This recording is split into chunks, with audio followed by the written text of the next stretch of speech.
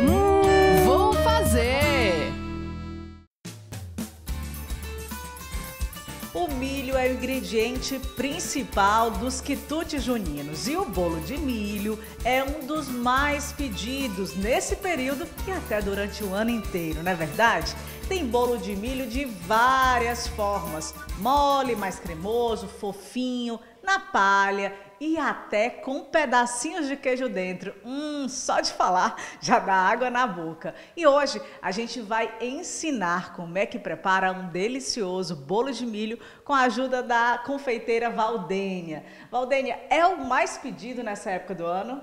Sim, é o mais pedido nessa época do ano e durante o ano inteiro, né? Durante o ano inteiro ele é o campeão de vendas aqui na minha confeitaria. Para fazer a receita, você vai precisar de três ovos inteiros, 150 gramas de milho verde cru, 140 gramas de flocão de milho, 150 gramas de açúcar, 250 ml de leite, 135 ml de óleo de soja, 100 ml de leite condensado, 50 gramas de coco ralado e 15 gramas de fermento em pó. A intenção, né, de ensinar essa receita é que além de você fazer para os seus familiares, você pode fazer para estar tá vendendo e ganhar aquela rendazinha extra. Colocamos o, o milho, colocamos o flocão,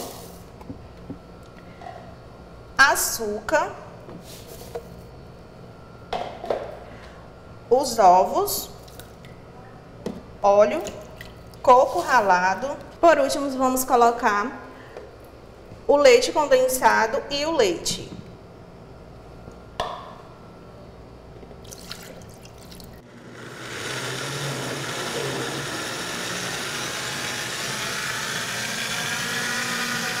Agora, com todos os ingredientes já batidos, a gente vai acrescentar o fermento e bater levemente. Nossa receita está pronta. Vamos colocar em uma forma untada e polvilhada com farinha de trigo.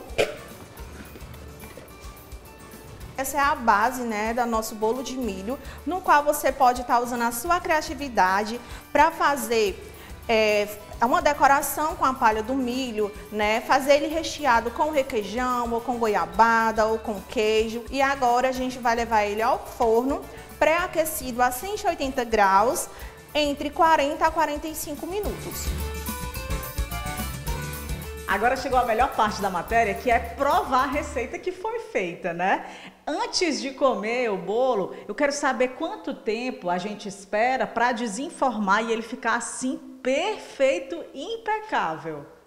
É, entre 20 a 25 minutos, a gente, quando ele já estiver bem morninho, a gente vai lá e desenforma. Porque se for desenformar ele quente ou frio demais, é, possa ser que ele grude na forma e não saia perfeito assim. Olha, visualmente está perfeito. Agora a gente vai ver no paladar.